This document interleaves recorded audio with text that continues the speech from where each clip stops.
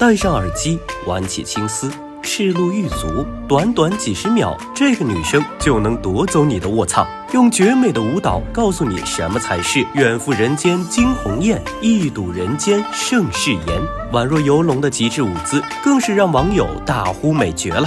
这个女生就是短视频平台大火的古典舞博主王依依。说起古典舞，历史可以追溯到数千年前的宫廷舞蹈。它是在古代壁画、乐庸的舞蹈动作基础上，再次融合了武术、杂技、戏曲等等艺术的动作造型，谓之身法。身法是基本功，但舞蹈中流露的一颦一笑、眼神神韵，才是古典舞最核心的内涵。因此，你也能在华萧一、李想、唐诗逸等等演员的舞蹈中，感受到古典舞刚柔并济的美感。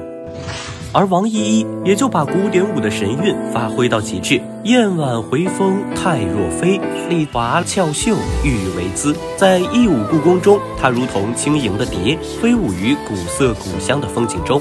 一袭朱红旗袍，配上古琴音乐，舞姿刚柔并济，一起一落都十分干脆利落。粉丝在评论区纷纷赞叹国风机械师美而不妖，露而不俗。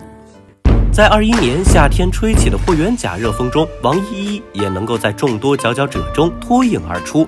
扎实的基本功，绝佳的气质，再配上淡雅的背景，瞬间征服无数网友，纷纷评论优美佳人在水一方，一世独立的舞姿成为了不少人心中的白月光。简约淡雅的装扮，再配上极致古典的国风音乐，王依依用舞蹈无声告诉大家古典舞刚柔并济的精髓。而观众对她的青睐，也是在向全世界发出国风成潮的信号。如今也有很多国风爱好者带着对传统文文化的热爱，把古韵的零星火花散落各地，最后再聚成一个名为国潮的火炬，在世界熠熠生辉。